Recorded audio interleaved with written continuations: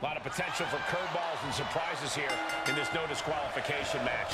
You take out that stipulation and you open the door to a lot of shenanigans, Michael. He must have seen that. Gunther wants to finish this. And that will do it. Not getting up from that one, so it's called. Here is your winner, Gunther! No other way to put it.